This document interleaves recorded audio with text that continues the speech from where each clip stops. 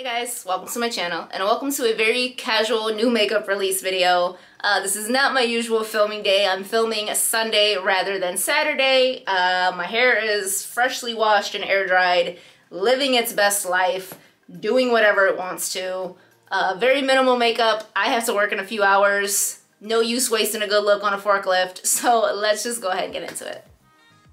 It is also very dark and gloomy and cloudy today, so I apologize for the lighting, and of course, someone is mowing their lawn when it's very clearly about to rain, and I'm sitting down to film. So let's just go ahead and get started.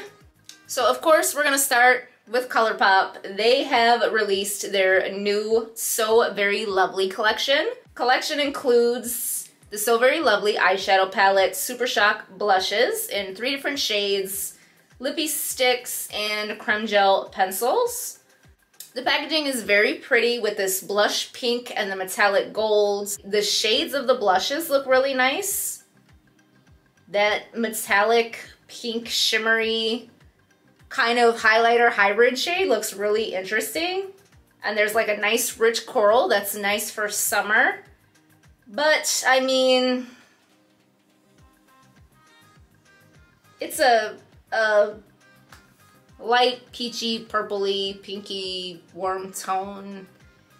We've seen this. I mean, it does have some some unique shades, but I mean, it's no secret that ColourPop just releases so much that at a certain point you really are just duping yourself. I'm more than certain you don't need this palette if you own more than a few ColourPop palettes you probably already have this. You know what I want to see from ColourPop? Neons. Like, do a bright, neon, electric summer collection. That's what I think ColourPop should come out with. I mean, Lord knows they're not done for the summer. They're, they might have that up their sleeve, but it's just, it's pretty basic. It's a light pinky peachy. There's a nice lavender matte in there that's probably really pretty. It's pretty. Do you need this? Probably not. The blushes look nice. Um, it's pretty basic. I want to see something new. I want to see neons. That's what I want to see from ColourPop. I've seen this before. I don't want to see this anymore. so keeping on with ColourPop, Sol Body, their sister brand, also has a new product. This is a face and body makeup. Um, a multitasking face and body foundation enhances your natural beauty creamy formula, blah, blah, blah, uniform coverage, perfected finish that lasts all day, 12 shades, medium to buildable coverage, transfer resistant, natural soft matte finish, coconut water, papaya extract, vitamin E. This one is also already available. I don't know how I feel about all this like body makeup coming out. My hair is just having a moment. I don't know how I feel about all this body makeup. Like, I mean, I get it if maybe you have maybe some acne on your chest or some uneven tones or something, but are people really putting like foundation all over their bodies? I find it transfer resistant very hard to believe. Like, if you're wearing this in the summer and you've got on like a light summer dress, maybe it's white, there's zero chance this is not getting all over your dress. I can't imagine this is really transfer resistant. I do like the shade range though. For the fact that it only has 12 shades, there is a nice range from fair to deep dark. I like the shade range on that. I will give them that, but I don't know about this body makeup thing. I don't know who's putting foundation from head to toe. That's a lot. That's aggressive. I mean, maybe like I said, if you have discoloration or maybe you have acne on your chest or your shoulders or or something you want to cover in a specific area, but like the way they have it in the promo photos, this girl is wearing it on half of her entire body. So I don't know about this one. I don't know if I'm with the uh, body makeup trend. I can't imagine it's just not messy and you end up with foundation on your clothes and that's just not cute.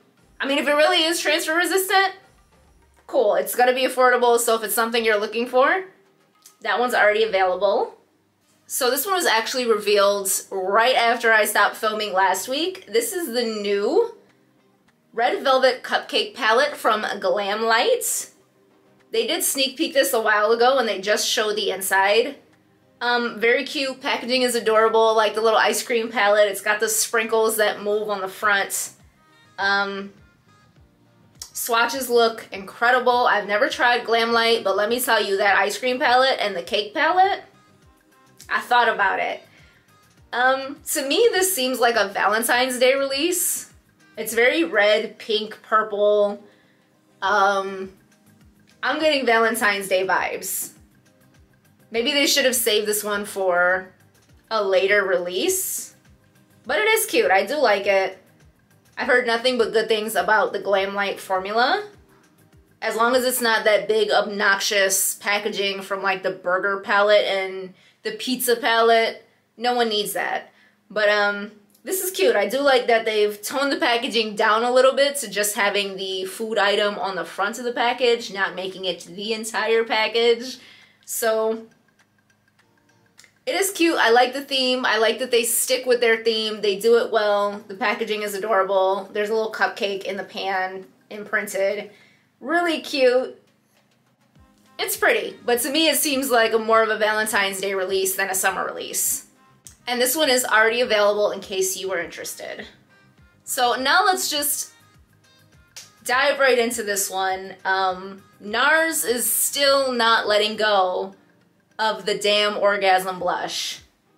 They've now released the new Orgasm on the Beach cheek palette.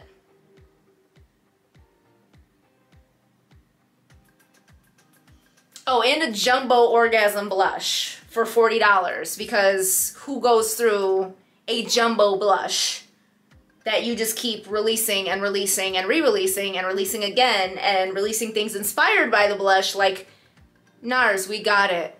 We got it. Trust me. There's enough. There's enough. Listen, BH Cosmetics, I need you to take that uh, Let That Shit Go palette from last week and send it over to NARS. Please, let that shit go. We get it, NARS. You love a good orgasm over there. Cool. That's great. How about a new idea? Can we do that? Please? Aside from the fact that they're still riding this orgasm train, the colors look nice. It's a blush palette. It's nothing you've never seen from NARS before. Literally, we've seen this from NARS over and over and over again. NARS, delivering orgasm after orgasm after orgasm. Anyways, um, this one's available now in case you were interested. Next, we did get a sneak peek from MAC. They are dropping a new collection and they've just shown the highlighter for now. The packaging is beautiful. It actually is a new shade, I'm pretty sure. I'm not too, too familiar with MAC as a brand, but it will include this highlighter in the shade Floor Shore. That's kind of cute because it's flower themes. Floor like flower in French, I'm pretty sure. Don't quote me on that. But it's just a nice champagne gold highlighter. Nothing revolutionary, but at least it's a new shade. They didn't just re-promote something they've already released a million times in new packaging. So this is just a sneak peek of the highlighter. Packaging looks beautiful. Thumbs up for actually coming out with a new shade. Um, I don't purchase from MAC. They're not cruelty free, but it's pretty. It's different. It's nice for summer. I like the colors. I like the packaging. Hopefully the rest of the collection will be exciting and not just a bunch of re-promotes in pretty packaging. So here's something that I thought was really interesting. I've never heard of this brand before, but the brand Hims has released the Blur Stick. Um, I did look at their Instagram. It's a makeup and skincare brand for men which is actually really interesting. And they have teamed up with A-Rod. Alex Rodriguez is putting foundation on in a promo picture, which is something I never thought I'd see. Um, so it says here, camouflage everything from blemishes to razor burn to dark eye circles, easy to use formula, sweat proof, stays where you put it. Nourishing skin ingredients, aloe extract, dog rose oil, jojoba seed oil, eight shades, $17 each. This is really cool. This is new. Um, I like it. Let's shatter these gender barriers. A foundation made specifically for men. I like it. You know, who says men don't want to cover up imperfections on their face too? You don't have to be a man in a full face of makeup to just want to cover up a little something here and there. And they got A-Rod to do the promo shots. So who doesn't want to be like a Major League Baseball star putting foundation on? I like it. The packaging is sleek and gray. This is cool. It's different. I like it. And this one is available now in case you are interested.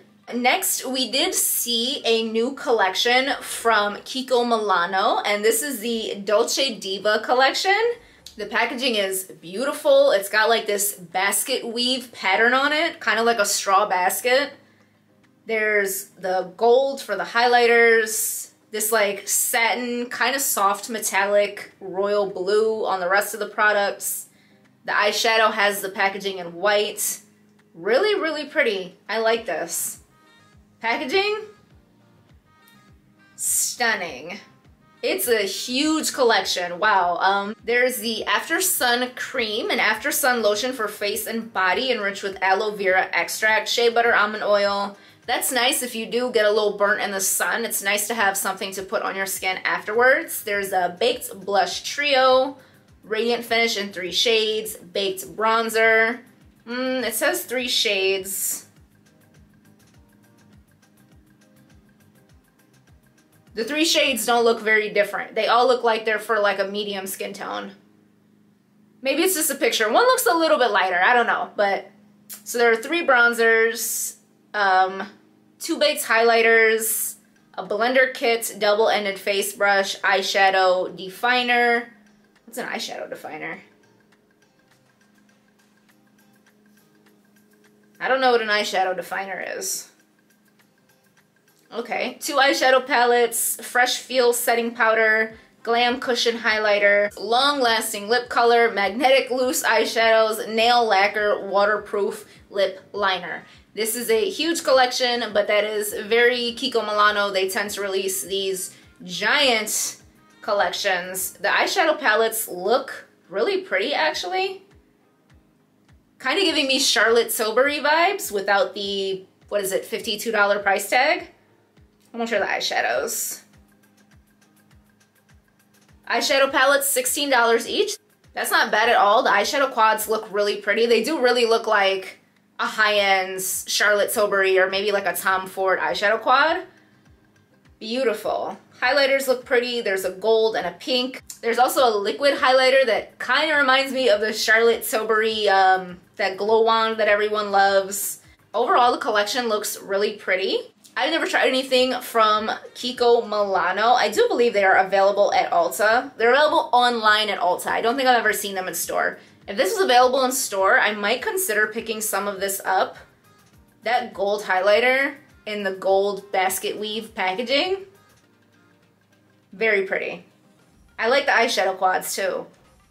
I like this collection. It looks very pretty, soft, pink, glowy. It's pretty. Could the bronzers stand to be darker? Absolutely.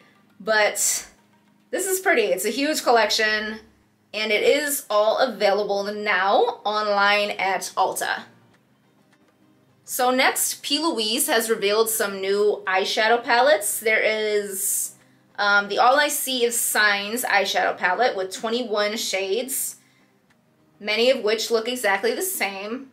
And then there are three mini eyeshadow palettes a purple one, a blue one, and a pink one.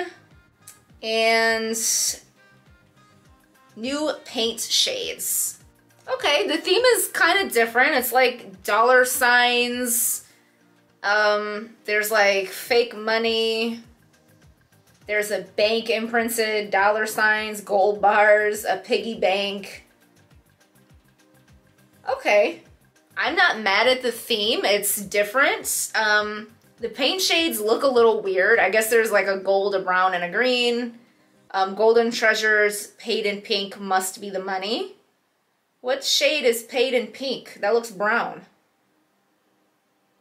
It's like a deep mauve kind of pink, kind of, I guess. I've never tried anything from P. Louise. She did have her controversial moments that turned a lot of people off from the brands. I know a lot of people love her eyeshadow bases, but um, the big eyeshadow palette, it's kind of repetitive. There's a lot of similar shades. I don't think this needed to be a 21 shade eyeshadow palette. There's a lot of similar yellows and oranges. I think the imprints in the palettes are kind of the coolest things. The mini palettes look cute, very pigmented. The swatches look nice. In terms of the products, they look kind of cool. The, the big palette is a little unnecessary to me. The little ones are cute. I think she's a little bit late on the monochromatic train. Like, everybody's already done that. You're a little behind. So these will be coming soon. So we do have a new release from Huda Beauty. This is the GloWish Multi-Dew Skin Tint. And I believe there's also a powder. Uh, moisturizing Formula 13 Super Stretchable Shades. I've never heard a foundation referred to as super stretchable. Um, lightly tinted, perfect level of pearl to blur and brighten. Um, also does not move all over the place. 12 hour wear, mask proof, transfer proof. Keeps you glowing all day. I feel like I'm talking about a new face and body tinted moisturizer, light, dewy, cream finish, light, long wear, 12 hour transfer proof, put it on your body, glowy all day kind of product every single week. Um, the finish does look really, really pretty. It looks very glowy and dewy. I do like that. So just say it's multitasking makeup with skin benefits, vegan and never tested on animals, sustainable packaging, 100% recycled cartons, skin-loving ingredients, and a 90% naturally derived. Um, I do like that. I love the sounds of it being sustainable, recyclable, very nice. So the powder is a bronzing powder. I thought it was a setting powder, but it's a bronzer. Um, creamy formula adds warmth, warmth and dimension. Five shades, last up to 12 hours. Buildable and gives a blurring effect. Packed full of shea butter, vitamin E, ugly red bell pepper. What the hell? Ugly red bell pepper extract, uh, rose oil, I do like the looks of this. I like that it's very sustainable, natural, plant-derived. The bronzers do look really cool. They're like marbles. Not surprised. The girl loves marbling products, but the bronzers look cool. I like the bronzers. The finish on the tinted moisturizer looks really nice, really glowy, fresh, dewy. These are nice. I don't see a price on these but it does say they will be launching on June 1st. I like this release. Out of the plethora of tinted moisturizers I've been talking about lately, I like this one. I like the finish of it. I like how it looks. It looks very glowy and soft and dewy. I like this one. I like this release. Very on trend. I love what it stands for. Love that it's sustainable, vegan, cruelty-free. Looks very nice, and again, these will be launching on June 1st. So we do have some new shades and scents of the Too Faced Hangover RX Pillow Balm Lip Treatment. Um, the only reason I'm mentioning this is because I saw the yellow one and I had a feeling that it was banana scented, and it is. I love, love, love the smell of banana I love it. I've been on the hunt for banana scented products. I would not spend $23 on a lip balm slash glossy type product, but it's banana scented. That's all, it's banana scented. That's all I wanted to say. There's also watermelon, cocoa kiss, and mango kiss. But it's banana scented. If it were cheaper, I might consider getting the banana one solely because it's banana scented. So these ones are available now. So Midas Cosmetics has collaborated with the Basic B on the Perception palette, and this one is available now. I'm not familiar with the creator. Wow, she's gorgeous. Her eye looks are insane. Absolutely beautiful. Her eye looks, just scrolling through her Instagram, this palette looks very much like her as a creator. It's very bright. There's neon shades, deep, rich shades, a few very sparkly metallics, but it is a little more matte heavy. This looks kind of cool. I like the colorful, bright mattes in here. Um, I'm more of a shimmer girl. I've said it a million times, but there are some really cool, like really sparkly, kind of toppery shades in here. This is a cool release. Congratulations to the Basic Bee. I don't know who she is, but she is beautiful and her eye looks are incredible. Ooh, the outside of the packaging is pretty. Ooh. The outside of the palette has like a galaxy theme, which I love. I painted a galaxy mural on the ceiling in my sunroom. I love it. I love the galaxy sparkly theme. I'm all about it. And the palette looks really, really cool. So this one is available now in case you were interested. So I think I'm gonna wrap things up with a little sneak peek from Melt Cosmetics. There's a post on Indie Makeup Spotlight, that's an Instagram run by Amy Loves Makeup. And it's a picture saying that yesterday was the eight year anniversary of Melt Cosmetics and the picture is the Dia de los Muertos collaboration from back in 2019 and it says, P.S. we have some new new in the works. So, I do think their Dia de los Muertos collection from 2019 was beautiful. The packaging on that was stunning. So I'm guessing maybe they're sneak peeking another Dia de los Muertos collection. Hopefully they're not getting high again. That's what I'm hoping. I love Halloween, spooky kind of stuff. So I have wanted to try stuff from Melt, but nothing has really just grabbed me. I did really, really want their Gemini palette because, hello, I'm a Gemini. But back then when it came out, I wasn't really into like the grungy army greens. Now I'm definitely more into that kind of grungy army green tone. So if I had been, I probably would have picked up the Gemini. It's kind of old news now, so maybe I'll just keep an eye out for what's coming from them. Hopefully it's like a Dia de los Muertos spooky Halloweeny kind of collab. I know it's it's May, but it's never too early for Halloween. So that was it for my new makeup release video. If you enjoyed it, I hope that you would consider liking, subscribing, and coming back for some more content. Bye.